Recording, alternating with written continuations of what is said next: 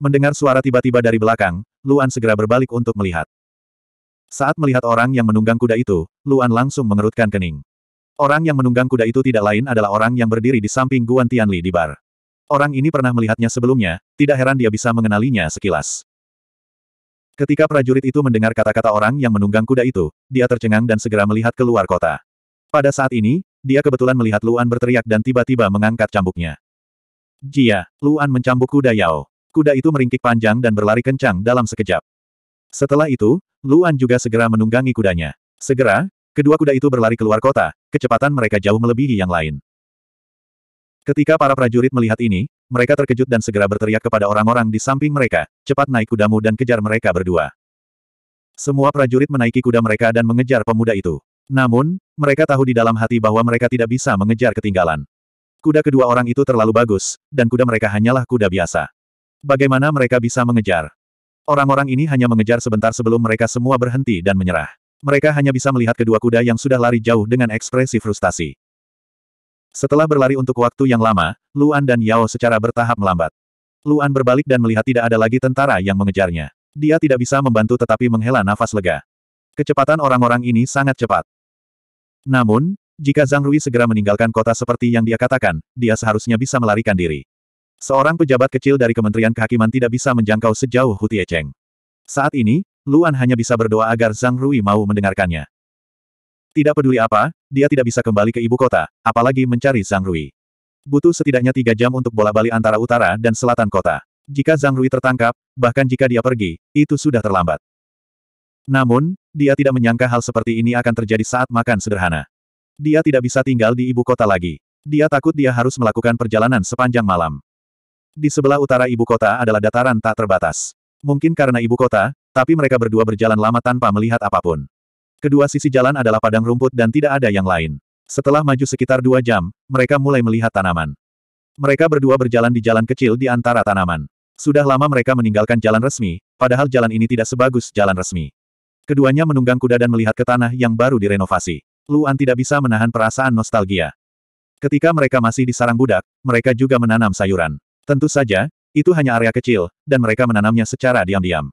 Di gua budak, penanaman skala besar tidak diperbolehkan. Tujuannya adalah untuk memastikan kelangsungan para budak dan mencegah mereka dari kemungkinan berkembang. Setelah berlari begitu lama, langit berangsur-angsur menjadi gelap. Hingga saat ini, Luan masih belum menemukan desa. Dia hanya bisa menemukan ruang kosong dengan Yao untuk mendirikan tenda dan bermalam. Keduanya sudah terbiasa dengan gaya hidup seperti itu, dan Yao tidak memiliki keluhan apa pun. Ketika hampir tengah malam, keduanya mendirikan tenda dan masuk ke dalam. Tenda itu sangat besar. Selain tempat tidur, ada juga tempat untuk bergerak. Luan menyalakan lilin dengan korek api, dan segera tenda itu menyala terang. Setelah itu, Luan membantu Yao membereskan tempat tidur. Setelah mengalami begitu banyak pelarian, dia memiliki segalanya di ringnya. Saat Yao Yao berbaring di ranjang empuk, suasana hatinya akhirnya rileks. Karena hari sudah sangat larut, Yao menatap Luan yang tidak berbaring dan bertanya, apakah kamu tidak akan tidur? Belum. Luan tersenyum ringan dan berkata, berlari untuk hidupmu sepanjang hari, kamu pasti lelah. Tidur dulu. N. Yao mengangguk. Dia dengan lembut berbalik, menutup matanya yang indah, dan diam-diam tertidur. Luan melihat penampilan Yao, dan di dalam hatinya, dia sebenarnya merasa sedikit kasihan padanya. Dia meninggalkan rumahnya sendirian dan ditinggalkan. Sekarang, jalan pulang penuh angin dan embun. Kehidupan seperti ini, bagi seorang wanita, masih terlalu sulit. Setelah menggunakan panas dari Scorching Nine Suns untuk memanaskan tenda, Luan keluar dari tenda. Bulan bersinar terang dan bintang-bintang jarang. Malam ini, ada banyak awan gelap di langit. Di sebelah tenda ada sungai kecil. Luan berjalan ke sungai, mengambil air, dan membasuh wajahnya. Dia melihat bayangannya di air, dan diam-diam tidak melakukan apa-apa. Tiba-tiba, dia melihat tali kalung di lehernya. Tali ini sudah lama diubah menjadi bahan khusus, dan tujuannya agar tidak hilang. Dia mengulurkan tangannya dan mengeluarkan kalung itu dari pakaiannya. Melihat cincin itu lagi, tatapan Luan sedikit memadat. Apakah itu orang dalam kabut hitam atau guru surgawi tingkat delapan itu? Mereka berdua memastikan bahwa dia bukan putra kandung dari orang tuanya. Cincin ini diwariskan oleh ibu kandungnya, dan merupakan satu-satunya hal yang memungkinkan dia untuk memahami ibunya. Cincin ini sangat terang, dan juga diukir dengan pola yang aneh. Ketika Luan masih muda, dia sangat ingin mengutak-atik cincin ini. Namun, setiap kali dia menatapnya lebih dari tiga napas, dia akan merasa pusing. Bukan hanya dia, tetapi yang lain juga sama. Sampai sekarang, dia masih belum bisa mengetahui latar belakangnya. Orang dalam kabut hitam tidak mau memberitahunya, dan Master Surgawi tingkat delapan itu juga tidak mengatakan apa-apa. Namun, Luan membenarkan bahwa Deep Eyes di tubuhnya memang diberikan oleh ayahnya. Dan keluarga ayahnya tampaknya bermarga Jiang. Selain itu, dari ekspresi guru surgawi tingkat delapan itu, bahkan jika dia bukan anggota keluarga Jiang, dia tampaknya sangat akrab dengan apa yang terjadi saat itu. Jelas bahwa sesuatu yang besar terjadi saat itu. Lalu, apa yang terjadi saat dia lahir? Luan mengerutkan kening. Akhirnya, setelah menarik napas dalam-dalam, dia mengembalikan cincin itu ke dadanya. Dia bangun dan bersiap untuk kembali ke tenda untuk berkultivasi selama dua jam sebelum tidur. Dia duduk bersila di tanah tenda, memejamkan mata, dan memasuki kondisi meditasi. Dia merasa masih ada jarak tertentu antara dia dan puncak level 1. Dia takut itu akan memakan waktu setidaknya satu bulan. Jika dia tidak terburu-buru, promosinya ke level 2 akan semakin lambat. Orang dalam kabut hitam mengatakan bahwa ketika kekuatannya benar-benar menjadi kuat, misteri latar belakangnya secara alami akan terpecahkan. Jika dia diberitahu sebelumnya, itu malah akan membawa bencana yang fatal. Akibatnya, Luan semakin menginginkan kekuatan.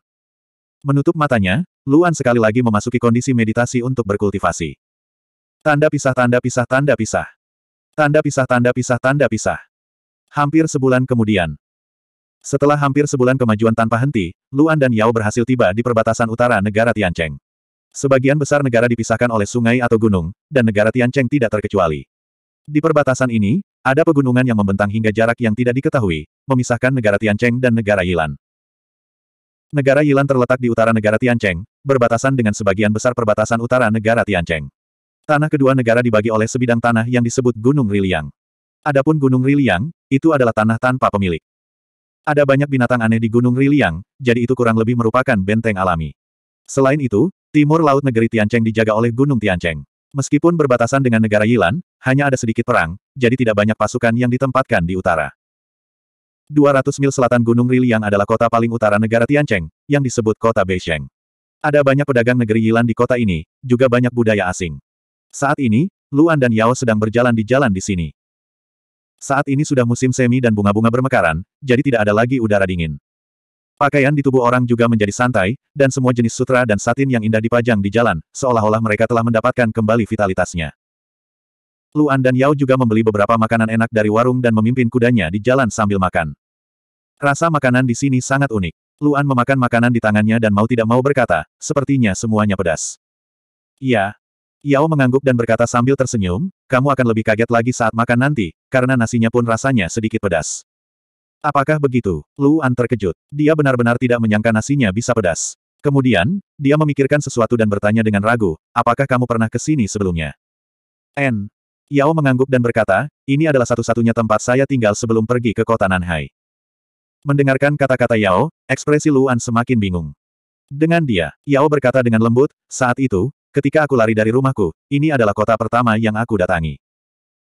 Luan terkejut ketika mendengar ini, dan kemudian berkata dengan agak malu, aku mengingatkanmu tentang hal-hal yang tidak menyenangkan lagi. Bukan apa-apa. Setelah sekian lama dan mengalami begitu banyak hal, aku sudah menemukan jawabannya. Yao menunjukkan senyum yang indah dan berkata, bahkan jika dia kembali, aku tidak akan mengganggunya lagi. Melihat ini, Luan tersenyum. Tidak peduli apa, itu baik-baik saja selama Yao bahagia. Namun, dia tiba-tiba menyadari sesuatu dan mau tidak mau bertanya dengan ragu, bukankah kamu mengatakan bahwa rumahmu sangat jauh dari sini? Mengapa kota Beisheng ini menjadi kota pertama yang Anda kunjungi? Mendengar ini, wajah Yao tiba-tiba menampakkan senyum bahagia. Izinkan saya memberitahu Anda sebuah rahasia. Saat kita mencapai Gunung Riliang, kita bisa pulang. 372. Apa? Lu An terkejut. Dia memandang Yao dengan heran dan bertanya, apa maksudmu? Ayo makan siang dulu. Yao menatap wajah cemas Luan dan tersenyum. Aku akan memberitahumu saat kita makan. Memang, itu mendekati tengah hari. Sudah waktunya untuk makan. Untuk mendengarkan dengan seksama, Luan bahkan meminta kamar pribadi di sebuah bar. Setelah hidangan disajikan, dia menutup pintu dan menatap Yao. Beritahu saya, Luan mengerutkan kening dan bertanya, apa yang terjadi? Yao melepas topi cadar di kepalanya dan menyisihkannya, memperlihatkan wajahnya yang cantik. Tidak peduli kapan atau di mana dia berada, temperamennya selalu seperti peri. Melihat wajah bingung Luan, Yao tersenyum dan berkata, Sengoku benar-benar sangat jauh. Jika kita benar-benar harus berjalan pulang, aku khawatir kita tidak akan bisa kembali bahkan dalam setahun. Mendengar kata-kata Yao, Luan terkejut. Dia mengerutkan kening dan diam-diam menunggu jawaban Yao. Alasan kenapa aku bisa lari sejauh ini dari rumah dan datang ke negara kota langit adalah karena Sengoku memiliki sesuatu yang disebut gerbang dunia abadi, kata Yao lembut. Gerbang dunia abadi. Luan terkejut dan bertanya, apa itu? Aku sudah memberitahumu sebelumnya bahwa Sengoku memiliki misi yang sangat penting, yaitu menghancurkan semua teknik supernatural. Yao berkata dengan lembut, delapan benua kuno sangat besar. Jika kamu menemukan teknik supernatural dan ingin menghancurkannya, teknik supernatural itu sudah lama menghilang. Oleh karena itu, untuk menutupi delapan benua kuno yang luas, Sengoku menciptakan gerbang dunia abadi. Singkatnya, gerbang dunia abadi adalah pintu masuk ke Sengoku di delapan benua kuno. Yao melanjutkan, orang-orang Sengoku dapat pergi ke tempat mana pun di delapan benua kuno melalui gerbang dunia abadi. Mereka juga dapat kembali ke Sengoku melalui gerbang dunia abadi. Setelah Yao selesai, dia diam-diam menatap Luan. Pada saat ini, ekspresi Luan benar-benar terkejut. Ini adalah pertama kalinya dia mendengar hal seperti itu ada di dunia ini. Jika itu benar-benar ada, maka menurut kata-kata Yao, bukankah mungkin menempuh jarak ribuan mil dalam satu langkah, atau bahkan sepuluh ribu mil dalam satu langkah? Setelah beberapa saat, Luan akhirnya tenang. Setelah berpikir sejenak, dia tidak dapat menahan diri untuk tidak bertanya, bukankah kamu mengatakan bahwa orang luar tidak dapat memasuki Sengoku? Jika ada begitu banyak gerbang dunia abadi, tidakkah ada orang yang bisa masuk melaluinya? Tidak seperti itu. Gerbang dunia surgawi tidak sesederhana kelihatannya di permukaan, dan itu bukanlah sesuatu yang bisa ditemukan oleh orang luar. Bahkan jika seseorang dapat menemukan gerbang alam ilahi, mereka tidak akan dapat memasuki Sengoku melalui gerbang alam ilahi. Karena ada syarat yang sangat penting untuk memasuki Sengoku. Syarat apa? Luan kaget dan bertanya dengan rasa ingin tahu. Membuka gerbang dunia abadi membutuhkan ki abadi. Kata Yao sambil tersenyum. Jika tidak ada energi ilahi, tidak peduli seberapa kuat seseorang, tidak mungkin membukanya. Luan tiba-tiba menyadari. Jika item tertentu diperlukan untuk mengaktifkannya, maka itu memang sangat aman. Jadi begitu. Luan mengangguk, tetapi dia tidak bisa menahan diri untuk bertanya, tapi apa itu Immortal Key? Apakah itu semacam roda takdir? Tidak. Yao tersenyum dan berkata dengan lembut, saat kita mencapai Sengoku, kamu akan tahu apa itu. Luan terkejut dan bertanya, tapi, bukankah kamu mengatakan bahwa Sengoku tidak mengizinkan orang luar masuk? Tapi aku juga mengatakan bahwa aku akan memberimu seni abadi sebagai hadiah. Yao tersenyum dan berkata, tidak ada yang mutlak. Orang luar telah memasuki Sengoku sebelumnya. Paling-paling, saya akan berbicara dengan orang tua saya. Anda telah banyak membantu saya, mereka pasti akan setuju. Mendengar ini, Luan sedikit mengernyit dan mengangguk. Bahkan, dia agak gelisah. Lagi pula, tempat itu jelas bukan tempat biasa. Dengan kekuatannya, dia takut itu tidak penting. Bisakah kita menginap di sini semalam? Yao memandang Luan dan bertanya, karena kita akan pulang, aku ingin membeli sesuatu untuk dibawa pulang oleh keluargaku sebagai permintaan maaf. Luan kaget, lalu mengangguk dan berkata, oke. Okay. Yao dengan gembira tertawa ketika mendengar ini, dan berkata, nanti, bantu aku memilih beberapa barang juga. Lihat hadiah apa yang lebih cocok. Bagaimana dengan saya? Luan berpikir sejenak dan bertanya, haruskah saya juga membeli beberapa hadiah dan membawanya? Jika itu kamu, tidak perlu. Yao berpikir serius dan berkata, aku belum pernah melihat orang tuaku menerima hadiah dari orang lain. Apalagi kamu junior, mereka tidak akan menerimanya. Luan mengangguk, tetapi pada sore hari, dia masih membeli beberapa hadiah mahal dan memasukkannya ke dalam cincinnya. Meskipun dia tidak yakin apakah pihak lain akan menerimanya, dia tetap harus menyiapkan beberapa. Adapun Yao, dia membeli banyak barang, besar dan kecil. Kemungkinan besar, cincin Luan tidak cukup untuk menampung semua benda ini. Namun, cincin Yao jelas memiliki kualitas yang jauh lebih tinggi daripada miliknya. Benda-benda ini diletakkan begitu saja di dalamnya, seolah-olah tidak ada niat untuk diisi. Malam itu sunyi. Keesokan paginya, Luan dan Yao bangun lebih awal, dan ini juga satu-satunya saat Yao bangun lebih awal dari Luan. Keduanya dengan cepat merapikan diri, dan ketika mereka keluar, langit belum sepenuhnya cerah. Keduanya menaiki kuda mereka dan dengan cepat bergegas menuju Gunung Riliang. Sepanjang jalan, tatapan Yao jelas lebih cerah. Itu adalah kegembiraan dan harapan untuk kembali ke rumah, dan kebahagiaan yang tak terlukiskan. Luan mengendarai kudanya dan berkuda berdampingan dengannya, dan dia bisa merasakan intensitas pemikiran ini. Namun, Luan belum pernah mengalami perasaan ini sebelumnya. Melihat ekspresi bahagia Yao, dia hanya merasa iri di hatinya. Gunung Riliang hanya berjarak 50 km dari kota Beisheng, dan dalam waktu kurang dari satu jam, keduanya memasuki Gunung Riliang. Bunga-bunga bermekaran di musim semi yang hangat, dan dahan serta dedaunan hutan di sini sangat rimbun, sedemikian rupa sehingga matahari terhalang. Namun, Yao bisa merasakan lokasi gerbang alam ilahi, jadi dia tidak akan tersesat. Setelah memasuki hutan, Luan dengan hati-hati membuka Scorching Sun Nine Suns untuk merasakan sekelilingnya. Lagi pula, ada binatang mistik di sini, dan dia tidak ingin gagal di langkah terakhir. Kuda keduanya dengan cepat maju di hutan, dan di sepanjang jalan, mereka mengejutkan banyak burung di pepohonan. Namun, Mungkin karena terlalu banyak kesulitan di sepanjang jalan, mereka sebenarnya tidak menemukan binatang mistik di sepanjang jalan. Lupakan binatang mistik, mereka bahkan tidak menemukan satu pun binatang buas. Setelah berlari selama hampir satu jam di Gunung Riliang, ketika mereka telah benar-benar memasuki kedalaman Gunung Riliang, kegembiraan di wajah Yao tiba-tiba menjadi lebih jelas. Dia tiba-tiba menarik kendali, dan mengurangi kecepatan kudanya. Melihat hal tersebut, Luan pun mengurangi kecepatannya. Dengan sangat cepat, keduanya berhenti di hutan. Apa yang salah? Luan menoleh untuk melihat Yao, dan bertanya dengan rasa ingin tahu. Di sini, senyum di wajah Yao sangat indah, dan dia berkata dengan gembira. Di sini, Luan terkejut, dan malah menjadi semakin bingung. Dia berbalik untuk melihat sekelilingnya. Ini adalah hutan biasa, dan ada pepohonan di sekelilingnya. Di mana gerbang alam ilahi? Saat ini, Yao melompat dari kudanya, dan berjalan ke ruang kosong di depannya. Luan memandang Yao dengan bingung, tidak tahu apa yang akan dia lakukan. Yao berdiri di tempat, dan matanya perlahan tertutup. Pada saat yang sama, dia perlahan mengangkat tangannya, dan dalam sekejap, cahaya putih perlahan muncul dari tubuhnya. Luan tertegun saat melihat ini, dan matanya langsung menjadi serius. Ini adalah kedua kalinya dia melihat Yao bergerak. Kali sebelumnya adalah berkat yang kuat, dan dia tidak tahu kali ini akan seperti apa. Cahaya putih di sekitar tubuh Yao sangat jernih, dan menutupi tubuh Yao seperti air. Atau mungkin seperti aliran udara, mengalir ke berbagai arah. Ketika cahaya putih bertambah jumlahnya, Yao tiba-tiba menarik tangannya, dan pada saat yang sama, membuka matanya. Karena Luan ada di belakang Yao, dia tidak bisa melihat perubahan di mata Yao saat ini.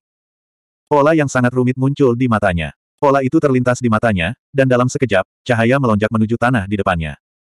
Bang! Seperti air, cahaya itu meledak ke segala arah setelah bersentuhan dengan tanah, dan dengan sangat cepat, menutupi tanah di sekitarnya. Mengikuti penutup arus udara, tanah di depan Yao mulai bergetar. Gemuruh. Luan merasakan tanah bergetar, dan dia melompat dari kudanya dengan kaget. Kemudian, dia melihat pemandangan yang mengejutkan. Tidak ada kerusakan di tanah, tapi sebuah pintu putih mewah muncul dari tanah dan perlahan muncul. Pintu itu sepertinya tidak terbuat dari benda material, tapi seluruhnya dibentuk oleh cahaya putih. Saat pintu putih perlahan naik, ruang di sekitarnya menjadi stagnan. Luan melihat sekelilingnya, dan seolah-olah segalanya menjadi sangat lambat, atau bahkan diam. Bahkan suara angin sepertinya sudah mereda, dan matahari tidak tampak begitu menyilaukan. Luan merasakan semua ini, dan hatinya dipenuhi keterkejutan. Akhirnya, pintu putih benar-benar muncul di depan mata Luan. Pintu besar setinggi 10 kaki dan lebar 10 kaki. Cahaya di sekitar pintu berkumpul bersama, lalu berpisah. Setiap kali berkumpul, itu akan menunjukkan pola yang berbeda. Ini adalah pintu dunia surgawi. Yao menarik tangannya dan berbalik untuk melihat Luan. Ayo pergi. Baiklah. Ketika Luan mendengar ini, dia memaksa dirinya untuk tenang dan mengangguk. Begitu mereka selesai berbicara, mereka berdua berjalan menuju pintu dunia surgawi, dan Yao baru saja akan mendorongnya hingga terbuka. Namun, pada saat itu, raungan dahsyat bergema di hutan pegunungan. Tanpa peringatan apa pun, seberkas cahaya keluar dari hutan pegunungan dan langsung menuju ke pintu dunia surgawi. Hati-hati, Luan mengerutkan kening, dan matanya langsung memerah. Dia meraih Yao dan dengan cepat melarikan diri dari pintu dunia surgawi. Gemuruh. Ledakan memekakkan telinga muncul tepat di tengah-tengah pintu dunia surgawi. 373. Gemuruh. Dalam sekejap, tanahnya meledak, dan kerikil beterbangan ke mana-mana. Serangan kuat dari samping menyebabkan parit panjang muncul di tanah. Mata Luan diwarnai merah, menatap retakan di tanah dengan rasa takut yang tersisa di hatinya. Dia mengerutkan kening, dan dengan cepat melihat ke sisi lain hutan, tepat pada waktunya untuk melihat seekor binatang aneh keluar dari hutan. Itu adalah keras setinggi dua kaki, dan tubuhnya yang besar ditutupi rambut coklat. Tidak hanya itu, lengan dan lengan bawahnya diselimuti armor coklat, dan ada tanah yang terus mengelupas dari atas. Mengaum. Saat kera itu muncul, ia meraung ke arah langit, menyebabkan bumi di sekitarnya bergetar. Bahkan Luan merasakan sakit di telinganya, dan ekspresinya menjadi semakin serius. Peringkat tiga binatang aneh. Seekor binatang aneh peringkat tiga asli, dan itu pasti bukan pada tahap awal. Alis Luan berkerut erat, dan tatapannya serius saat dia melihat kera itu. Yao yang berada di sampingnya jelas ketakutan, dan dengan raungan barusan, wajahnya menjadi pucat. Namun, yang membuat Luan terkejut adalah gerbang dunia surgawi tidak rusak di tempat serangan itu terjadi, dan masih berkedip-kedip di tempat. Ternyata gerbang dunia surgawi benar-benar dibentuk oleh cahaya, dan bukan benda fisik. Beri aku restumu. Suara Luan terdengar berat saat dia berkata. Ah, baiklah. Yao terkejut, dan dengan cepat sadar kembali, dan mengangguk. Setelah itu, Yao meletakkan tangannya di punggung Luan, dan ekspresinya menjadi serius saat dia perlahan berkata. Dengan namaku, aku memberkatimu. Berdengung. Suara Yao seperti genderang petang dan lonceng pagi, langsung menghantam jiwa. Dalam sekejap, seluruh tubuh Luan dipenuhi dengan kekuatan. Ini adalah kedua kalinya dia menerima restu Yao, tapi itu masih membuatnya merasa sangat terkejut. Selain itu, berkah ini tidak bertentangan dengan alam Dewa Iblis. Di bawah pupil merah, Luan merasakan kekuatannya meroket. Dengan sangat cepat, dia merasakan kekuatannya menembus alam peringkat tiga guru surgawi. Merasakan kekuatan yang kuat, hati Luan sedikit lega, dan semangat juangnya juga membara. Dia menatap kera di depannya dengan dingin, dan dengan ringan menarik napas. Berapa lama kamu perlu membuka gerbang dunia surgawi? Luan bertanya dengan suara berat. Ah, Yao terkejut dan tidak bereaksi untuk sesaat. Setelah sadar kembali, dia buru-buru berkata, waktu yang dibutuhkan untuk membakar dupa. Satu dupa. Luan mengerutkan kening dan merenung. Pemberkatan ini pasti berlangsung lebih dari waktu yang dibutuhkan untuk membakar dupa. Dia berkata, saya akan memancing kera ini pergi. Anda pergi dan buka gerbang dunia surgawi. Lebih cepat lebih baik. Baiklah. Yao buru-buru mengangguk. Luan menarik napas dalam-dalam. Tatapannya tidak pernah meninggalkan kera.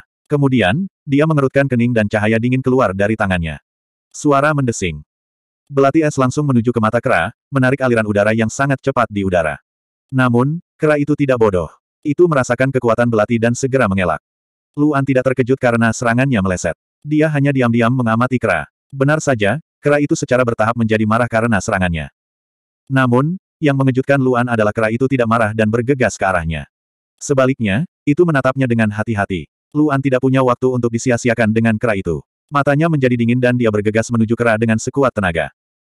Ketika kera melihat Luan bergegas ke arahnya, tiba-tiba kera itu meraung dan bergegas menuju Luan juga.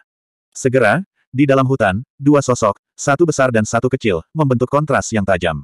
Di depan kera bersenjata baja, Luan benar-benar terlalu kecil. Mengaum. Dengan raungan, kera itu menghantamkan tinjunya ke tubuh Luan. Pada saat yang sama, Heavy Earth di lengan dan tinjunya menjadi lebih kuat. Kekuatannya jauh lebih kuat dari sebelumnya. Mata Luan terfokus. Dia segera melompat dan membiarkan tinju kera itu jatuh ke tanah.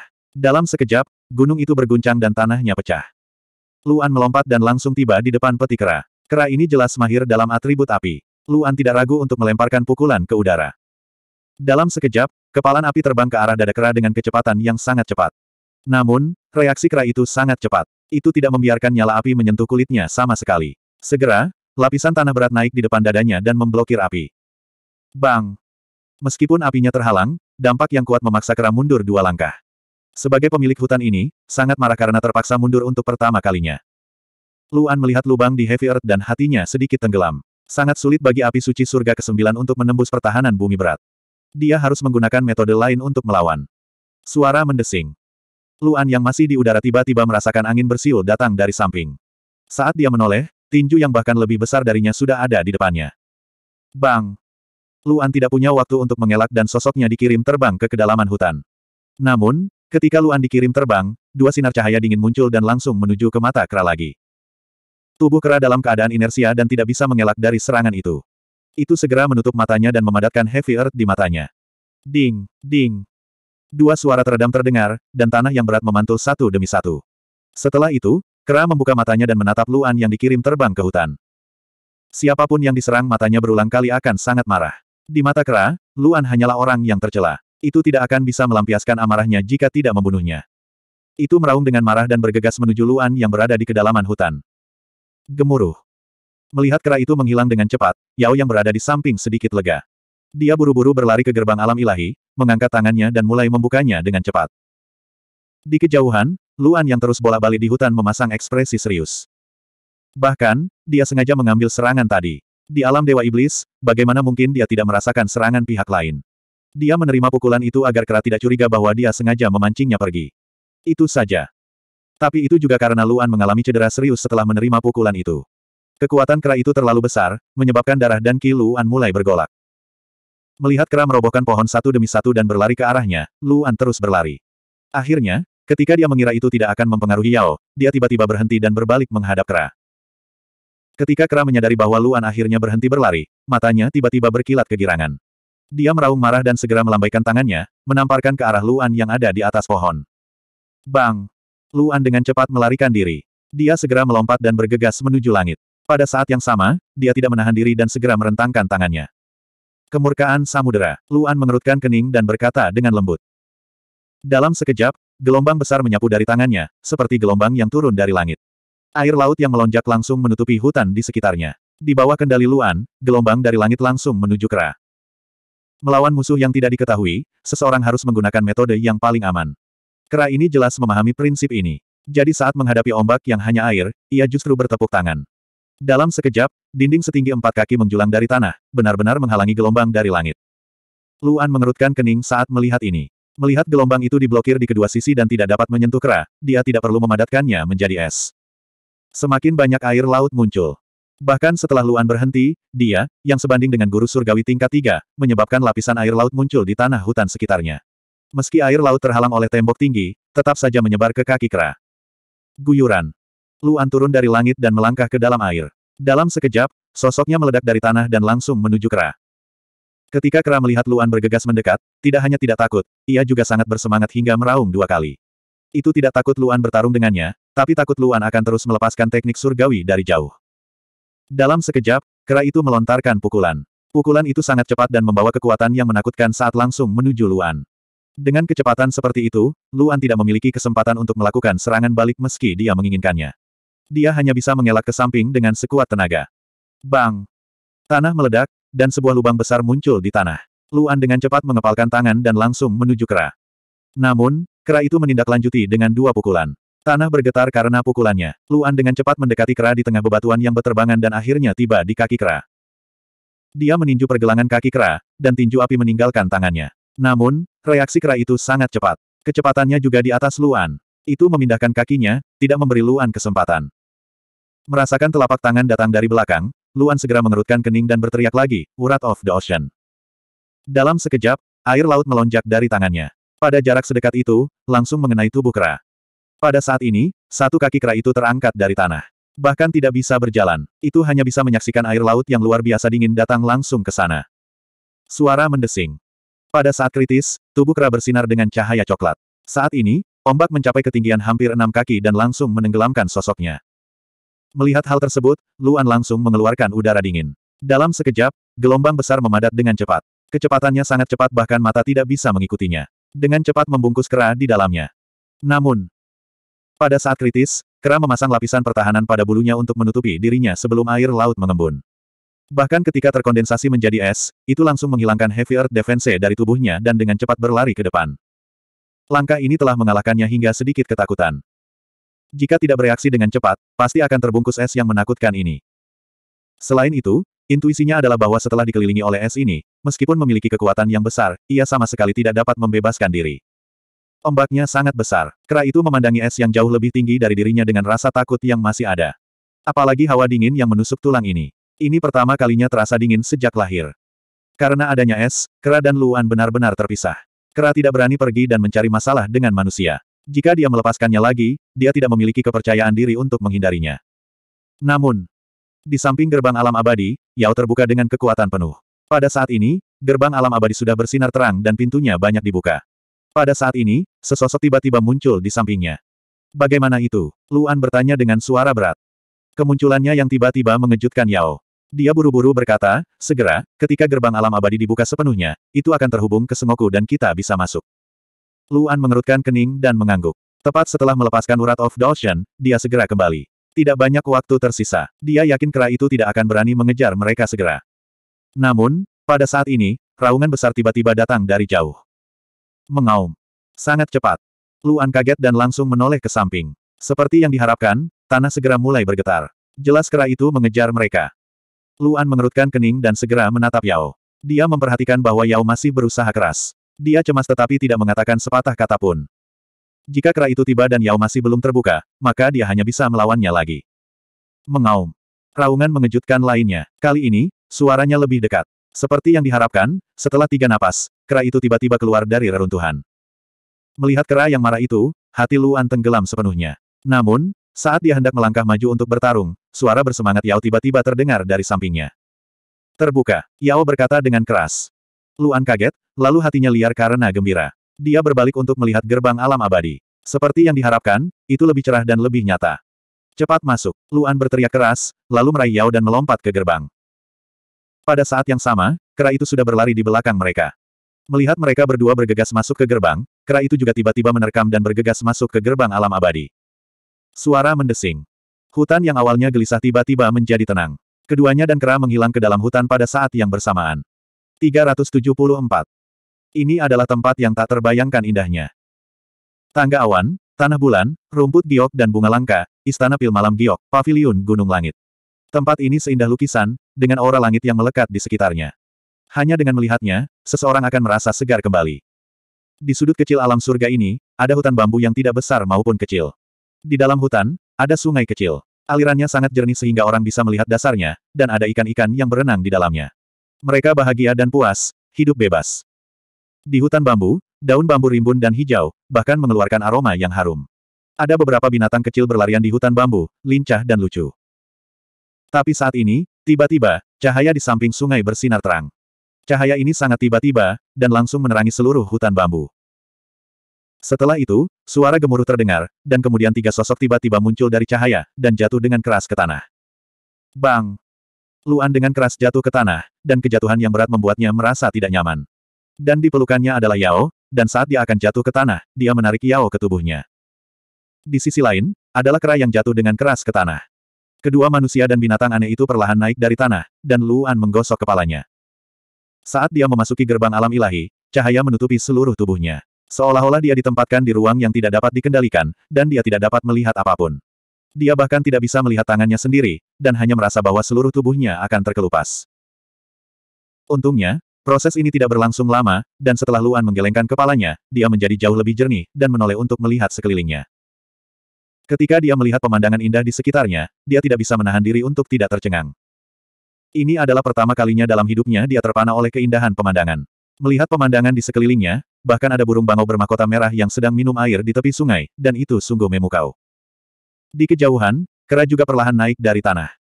Tubuhnya yang besar membuat hutan bambu menjadi berantakan, dan kepalanya dalam keadaan linglung, dan hanya setelah beberapa saat ia pulih.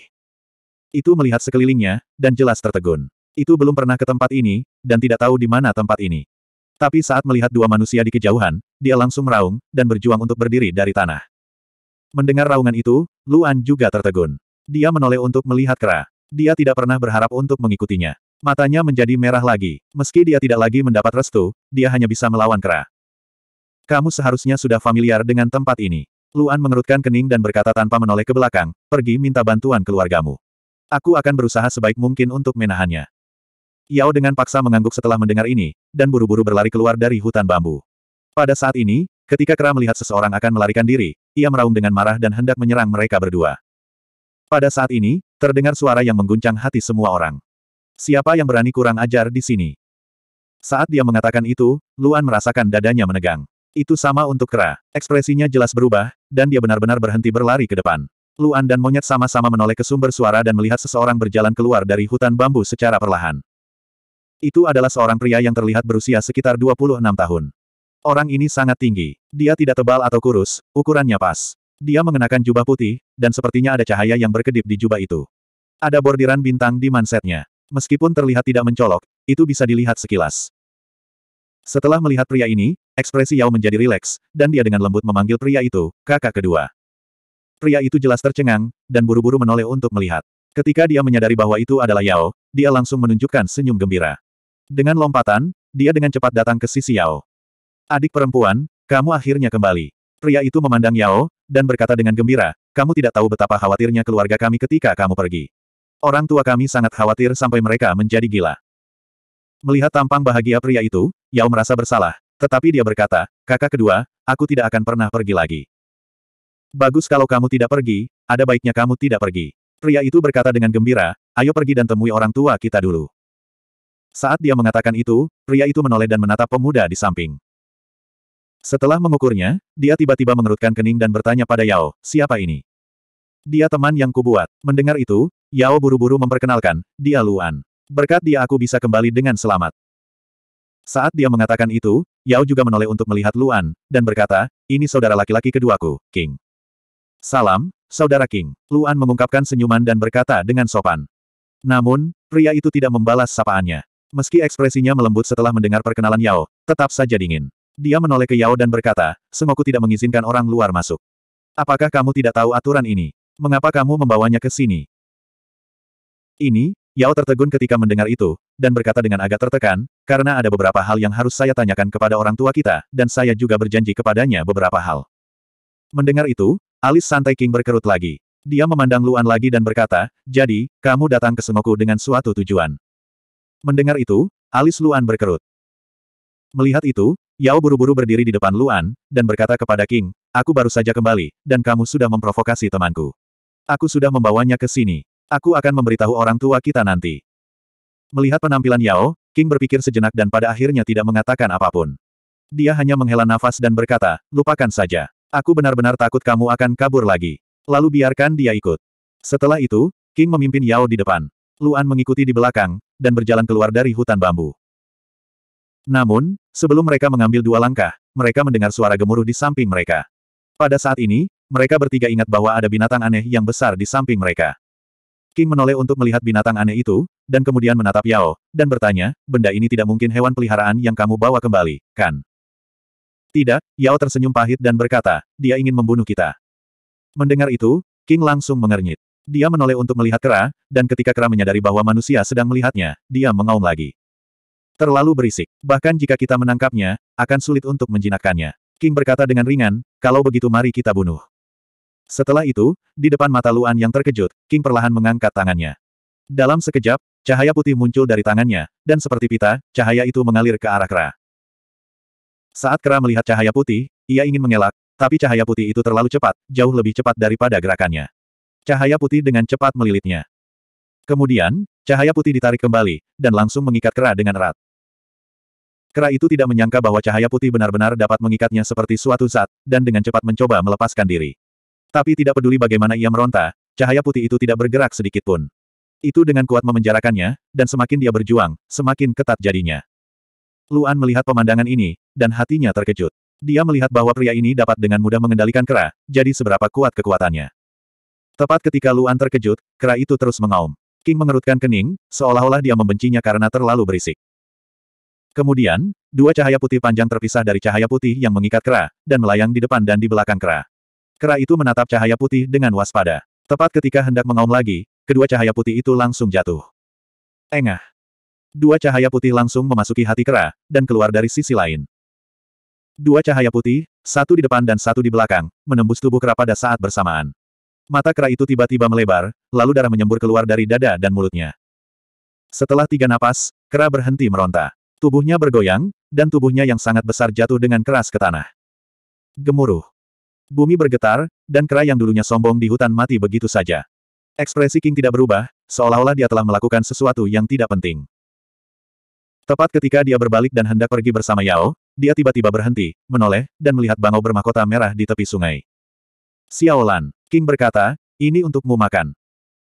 Bangau bermahkota merah mengangkat kepalanya dan memandang King, lalu berteriak gembira, seolah-olah akhirnya bisa mengubah selera.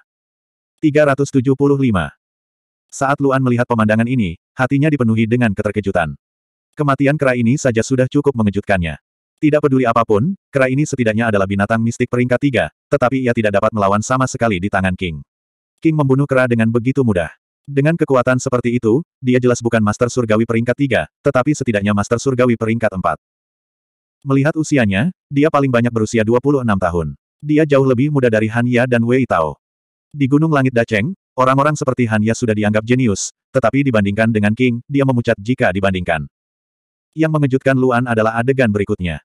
Setelah mendengar kata-kata King, burung bangau bermahkota merah mengepakkan sayapnya dan terbang menyeberangi sungai, berdiri di atas mayat kera.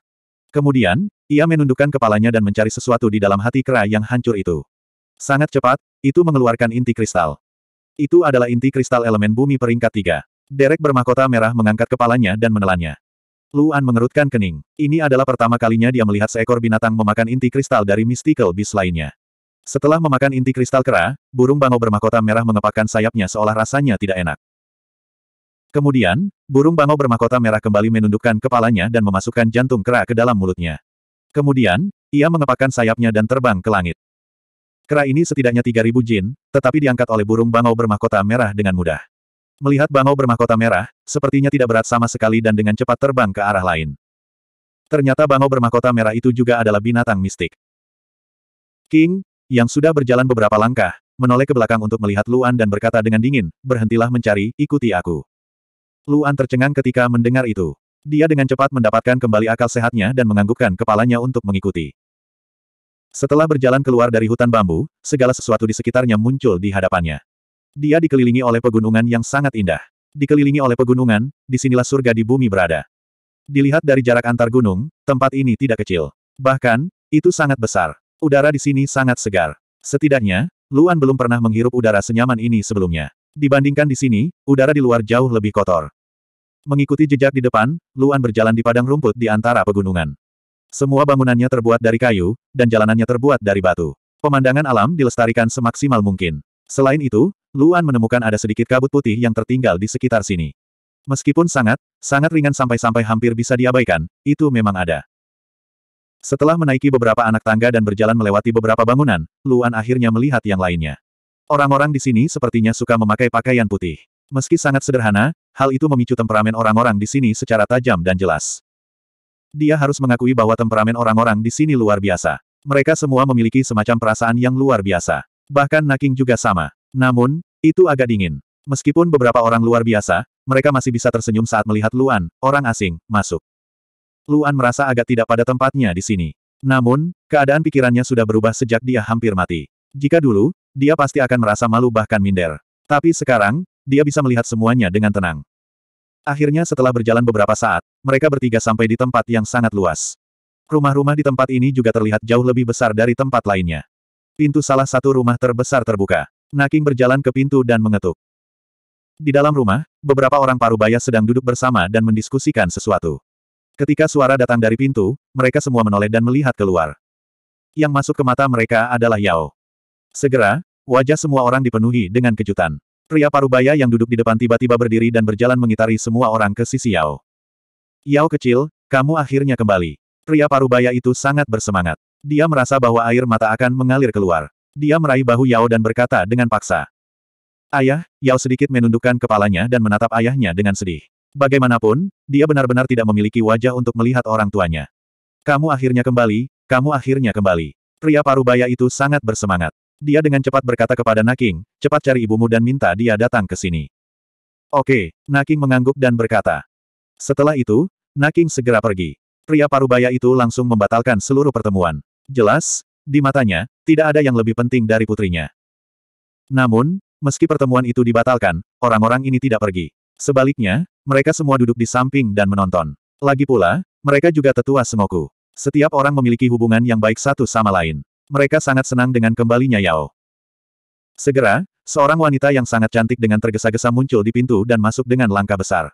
Saat wanita cantik ini dan Yao saling berpelukan, hubungan mereka terbukti dengan sendirinya. Luan menatap wanita cantik itu dengan sedikit terkejut. Dari segi penampilan, wanita cantik ini lebih cocok menjadi kakak perempuan Yao. Bahkan jika orang lain mengenalinya, usia wanita cantik itu tidak akan lebih dari 30 tahun. Tidak hanya pria parubaya dan wanita cantik itu, yang lainnya juga berdiri di samping Yao dan bertanya tentang kesehatannya. Setidaknya, kebanyakan dari mereka mengungkapkan perasaan mereka yang sebenarnya. Yao jelas sedikit sedih dikelilingi oleh begitu banyak orang. Dia bahkan menangis karena rasa bersalah di hatinya. Jangan menangis, jangan menangis. Untung kamu sudah kembali, wanita cantik itu memeluk putrinya dengan lembut dan menghiburnya. Tidak peduli apa yang terjadi, yang terbaik adalah kamu kembali. Akhirnya setelah sekian lama, penonton akhirnya menerima kenyataan bahwa Yao telah kembali. Saat ini, Yao buru-buru keluar dari kerumunan dan datang ke sisi Luan. Luan sedikit terkejut. Izinkan saya memperkenalkan Anda. Yao berdiri di samping Luan dan berkata kepada semua orang, ini adalah teman yang aku buat di luar. Namanya Luan. Teman. Karena kata-kata Yao, semua orang memusatkan perhatian mereka pada Luan. Dalam sekejap, Luan menjadi pusat perhatian di ruangan itu. Baru saja, keberadaan Luan diperhatikan oleh banyak orang, tapi Yao bahkan lebih penting. Meskipun Sengoku memiliki peraturan yang melarang membawa orang luar kembali, orang-orang di sini semuanya adalah orang dewasa. Tidak ada yang akan mengatakan hal seperti itu. Bukan hanya karena ada banyak pengecualian dalam sejarah, tapi juga karena Yao baru saja kembali. Jika dia kabur karena pria ini, maka mereka akan benar-benar menangis. Pria parubaya itu berjalan keluar dari kerumunan dan memandangi Luan dari ujung kepala sampai ujung kaki. Luan tiba-tiba merasa seolah-olah sedang dilihat. Perasaan ini seperti duduk di atas pin dan jarum, dan itu membuatnya sangat tidak nyaman. Pada saat ini, Luan tiba-tiba merasakan perasaan aneh di tubuhnya. Perasaan ini dengan cepat menyebar ke seluruh tubuhnya, seolah memenjarakan seluruh kekuatannya. Luan tertegun. Tepat ketika dia akan secara diam-diam mengaktifkan roda takdirnya, dia terkejut menemukan bahwa dia telah kehilangan kontak dengan api suci surga ke-9 dan es dalam pada saat yang sama. Penemuan ini membuat mentalitas Luan berubah drastis. Jika Luan tidak cukup tenang, dia akan melompat. Sekarang, dia hanya mengerutkan kening dan ingin merasakan kekuatannya sendiri. Namun, pada saat ini, pria parubaya itu membuka mulutnya dan sedikit mengangguk. Kamu baru berusia 13 tahun, tetapi kamu memiliki kekuatan level 1 tahap akhir. Tidak buruk di luar. Saya Ayah Yao. Nama saya Yuan. Luan tertegun. Memang, itu adalah hari ulang tahunnya beberapa hari yang lalu. Dia sudah berumur 13 tahun. Sekilas orang ini bisa melihat melalui kekuatannya, yang seharusnya mengejutkan Luan. Namun, pikiran Luan terfokus pada roda takdirnya. Dia membungkuk dan berkata, Junior Luan, salam senior. Melihat Luan sangat sopan, ekspresi Yuan sedikit melembut. Saat ini, dia melambaikan tangannya dan meminta semua orang untuk duduk, termasuk Luan. Di bawah pimpinan Yao, Luan duduk di sebelahnya. Pada saat ini, Yuan berkata, Yao kecil, ceritakan padaku apa yang terjadi di luar. Ini pertama kalinya kamu keluar rumah, dan kamu sudah pergi begitu lama. Banyak hal yang pasti terjadi. Yao dengan ringan menganggukkan kepalanya setelah mendengar ini, dan mulai menceritakan peristiwa yang terjadi di sepanjang jalan dengan sangat detail. Sebagian besar hal yang dia katakan benar. Hanya sebagian kecil dari hal-hal yang ditutup-tutupi di bawah instruksi Luan. Itu tentang kekuatan Luan. Luan tahu bahwa mungkin ada orang yang kuat di Semoku, dan orang dalam kabut hitam itu berkata bahwa begitu roda takdirnya terungkap, dia akan berada dalam bahaya. Luan awalnya ingin Yao berbohong, tetapi Yao memberitahu Luan bahwa jika dia berbohong, dia akan ketahuan. Oleh karena itu, Luan memintanya untuk meninggalkannya. Memang banyak hal yang terjadi di sepanjang perjalanan, namun hanya sedikit sekali hal yang mengejutkan. Misalnya, binatang buas raksasa di lautan, atau berbagai musuh kuat yang mereka temui, Del. Akhirnya, ketika Yao menyebutkan Crimson Moonstone, ekspresi semua orang di ruangan itu berubah. Ekspresi Yuan menjadi gelap dan dia bertanya, di mana batu bulan merah gunung berdarah. Senior, ini bersamaku, kata Luan. Dia tidak pernah berpikir untuk menyimpannya, jadi dia mengeluarkannya dari cincinnya. Ketika Bloody Mountain Red Moonstone muncul, seluruh ruangan menjadi merah darah. 376. Ketika Bloody Mountain Lunar Stone muncul, cahaya merah darah menutupi seluruh ruangan. Mata semua orang menyipit. Mata semua orang menjadi sangat serius, termasuk Yuan. Dia segera bangkit dan pergi ke sisi Luan. Dia langsung mengambil Bloody Mountain Lunar Stone dari tangan Luan. Perasaan haus darah muncul secara spontan. Jika bukan karena kekuatannya yang kuat, dia akan diserang oleh Bloody Mountain Lunar Stone. Meski begitu, itu masih merupakan hal yang sangat menakutkan. Itu benar-benar batu bulan gunung berdarah. Yuan mengerutkan kening dan berkata dengan suara yang dalam, hubungi tiga keluarga lainnya dan segel Bloody Mountain Lunar Stone bersama-sama. Ya, seseorang segera bangkit dan berkata. Kemudian, dia segera meninggalkan ruangan.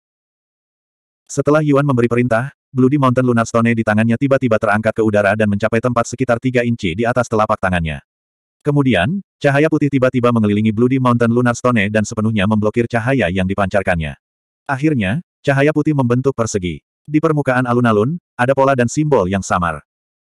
Setelah melakukan semua ini, Yuan menghela nafas pelan dan menyingkirkan Bloody Mountain Lunar Stone. Dia kembali ke tempat duduknya dan menatap Luan saat dia bertanya dengan bingung, batu bulan merah gunung berdarah adalah batu berharga dari langit dan bumi, dan aku belum pernah mendengar ada orang yang tidak terpengaruh olehnya, terutama mereka yang lebih lemah. Kenapa kamu baik-baik saja? Luan mendengar dan berkata dengan lembut, aku tidak terlalu yakin tentang ini. Mungkin ini kebetulan. Kebetulan, Yuan mengerutkan kening dan berkata, pada levelnya, dia tidak percaya bahwa akan ada kebetulan di dunia ini. Karena itu, dia terus menatap Luan. Dia ingin melihat apakah ada yang lain dari tubuh Luan. Luan sedikit gugup. Dia sudah memikirkan alasan ini.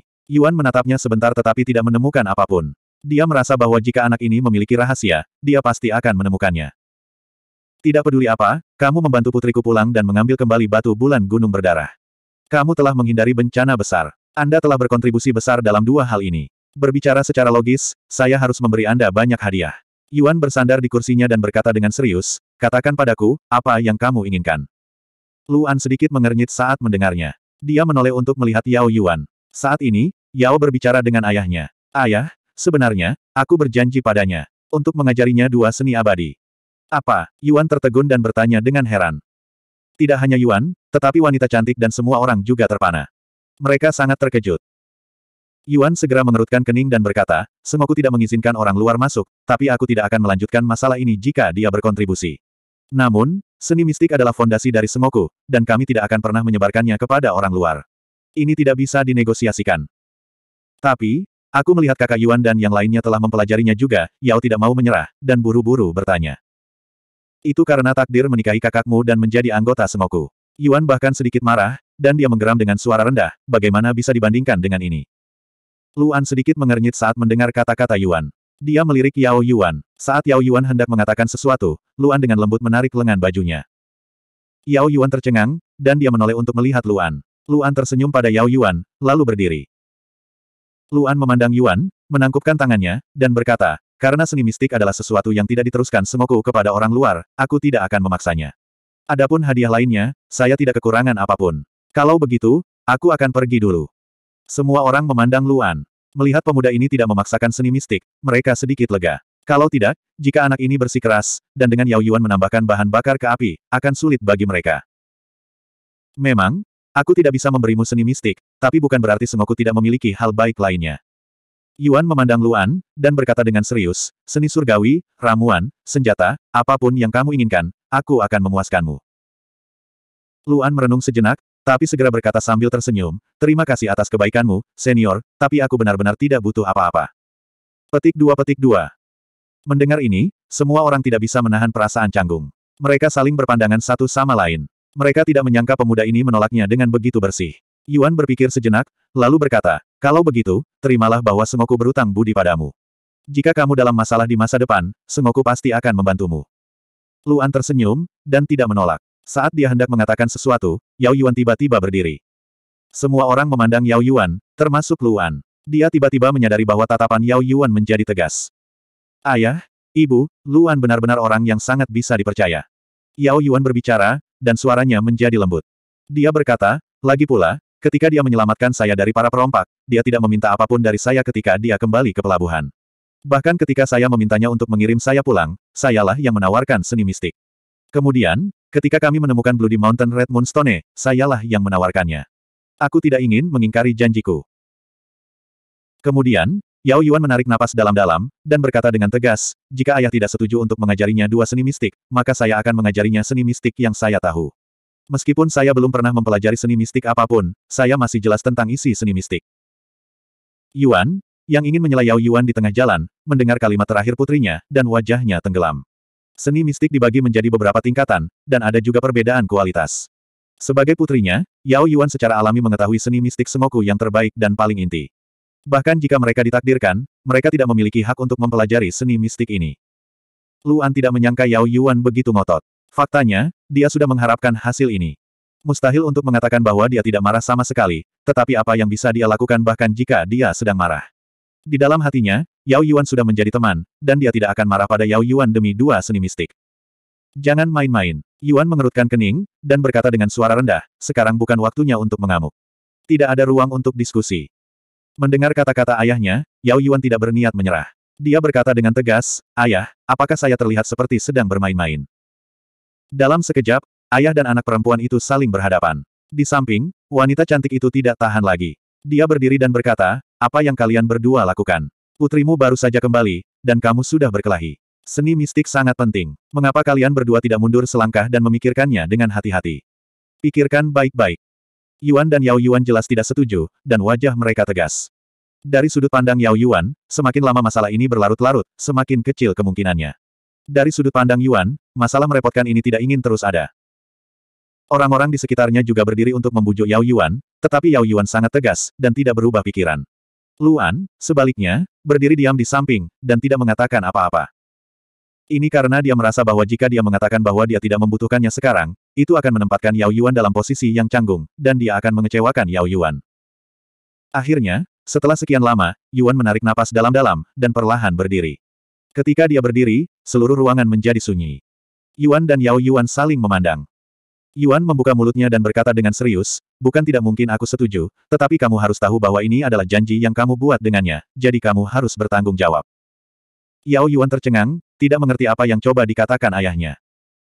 Tepat ketika semua orang bingung, Yuan berbicara sekali lagi dan berkata dengan sungguh-sungguh, saya bisa mengajarinya dua seni abadi, tetapi harganya mulai hari ini dan seterusnya, Anda harus mulai mengembangkan seni abadi juga. Anda tidak boleh malas. Apa? Yao Yuan terkejut. Dia tidak berharap ayahnya membuat permintaan seperti itu. Sejak muda, dia sangat tahan terhadap kultivasi. Ketika dia masih muda, keluarganya memintanya untuk berkultivasi, tetapi dia selalu menolak. Karena dia adalah seorang gadis, keluarganya pada akhirnya membiarkannya. Namun, semua orang di Sengoku mengetahui satu hal, yaitu, orang dengan bakat tertinggi di generasi baru adalah Yao Yuan. Sejak dia lahir, bakat Yao Yuan sudah terlihat jelas. Energi abadi di tubuhnya jauh lebih padat daripada yang lain, dan ketika dia berusia enam tahun, dia tidak membutuhkan siapa pun untuk mengajarinya. Dia mempelajari teknik berkat hanya dengan satu pandangan. Saat itu, hal ini mengejutkan seluruh Sengoku. Oleh karena itu, ketika mendengar permintaan Yuan, orang-orang di sekitarnya tersenyum. Jika mereka membuat kesepakatan seperti itu, itu memang kesepakatan yang bagus. Itu hanya dua seni mistik, tapi itu akan memberi Sengoku pembangkit tenaga listrik. Tidak peduli bagaimana mereka memikirkannya, itu bagus. Yao Yuan mengerutkan kening. Tepat ketika semua orang berpikir bahwa dia akan menyerah, dia tidak berpikir lama dan mengangguk tanpa ragu. Kesepakatan. Yao Yuan berkata dengan tegas. 377. Setelah mendengar jawaban Yao, seluruh ruangan terdiam. Yang paling mengenal Yao adalah Yuan dan wanita cantik itu. Kedua wajah mereka benar-benar terkejut karena mereka tahu lebih baik daripada orang lain betapa Yao membenci kultivasi. Ketika dia masih muda, karena bakat Yao yang luar biasa, yang jauh lebih kuat dari kedua saudara laki-lakinya, dia dan wanita cantik itu berusaha keras untuk membujuknya, tetapi semuanya sia-sia. Sekarang, mereka tidak menyangka dia akan setuju karena orang luar. Mungkinkah putri mereka jatuh cinta pada pemuda ini? Yao berusia 16 tahun tahun ini, dan hanya ada perbedaan usia tiga tahun di antara mereka. Tapi anak ini terlalu lemah, dan sepertinya dia tidak memiliki latar belakang apa pun. Dia bahkan tidak memiliki Fate Will. Bagaimana dia bisa layak untuk putri mereka? Tapi tidak peduli apa, itu pasti hal yang baik bahwa putri mereka mau berkultivasi. Yuan berkata dengan suara yang dalam, Yao kecil, kultivasi sangat sulit. Kamu telah melihat kedua saudara laki-lakimu berkultivasi. Apakah kamu yakin bisa melakukannya? Iya, Yao berkata dengan tegas lagi, tapi saya meminta agar saya memilih seni abadi untuknya. Apa pun yang saya pilih, Anda harus setuju. Yuan mengerutkan kening saat mendengar kata-kata Yao. Dia benar-benar tidak menyangka pemuda ini menjadi begitu penting bagi putrinya sehingga dia ingin memberinya seni abadi terbaik. Jika itu masalahnya, maka dia benar-benar harus mempertimbangkannya dengan hati-hati. Tidak apa-apa untuk mengajarkan seni abadi biasa, tetapi bisakah dia benar-benar mengajarkan seni inti abadi kepada orang luar? Jika dia memberikannya kepada pemuda ini, apakah dia akan menyebarkannya lagi? Dia tidak bisa tidak khawatir tentang ini. Meskipun sangat sulit untuk mengolah seni abadi, dan bahkan lebih sulit untuk mengolahnya setelah meninggalkan Sengoku, dia tetap harus berhati-hati. Yuan kembali berpikir keras. Kali ini, dia merenung untuk waktu yang lama. Selama proses tersebut, tidak ada yang berbicara, termasuk wanita cantik itu. Akhirnya, setelah waktu yang dibutuhkan untuk membakar dupa, Yuan mengangkat kepalanya lagi. Dia memandang Luan di depannya. Setelah dengan hati-hati mengukurnya lagi, dia menoleh ke Yao dan berkata, saya setuju. Mendengar perkataan ayahnya, Yao langsung tersenyum bahagia.